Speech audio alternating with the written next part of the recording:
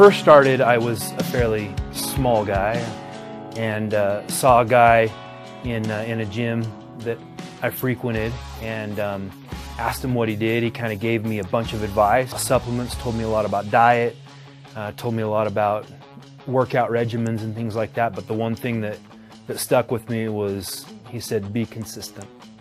And um, bought a little supplement shop, started selling supplements, hired a kid, and uh, the kid was really into bodybuilding, said he wanted to do a competition, and talked me into doing one with him. I, I suppose it was kind of on the bucket list, something that I've always wanted to do, but I've never really had the ambition to do it. It takes a lot of time and effort and energy, um, it takes a lot of commitment.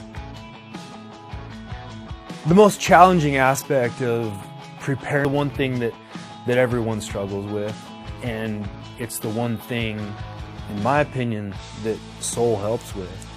I am a product guy through and through.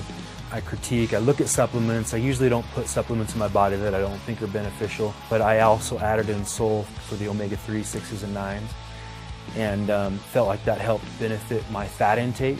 It's important to keep healthy fats in the diet and in the regimen, and of course, Soul has uh, D-ribose, which is a 5-carbon sugar. It helps with the production of ATP, which is energy that you expend um, while you're working out. It uh, helps with the cellular processes of metabolism, so helps with weight loss. Percent that it's a supplement that actually helped me compete on stage at a uh, at a higher level.